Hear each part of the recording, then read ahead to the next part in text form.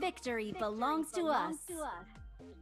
ভাবতো একটা কিছু আমার ইকুইপমেন্ট ইউজ করলাম না আমি ম্যাচের মধ্যে শুধু স্পাইডারম্যান ছাড়া।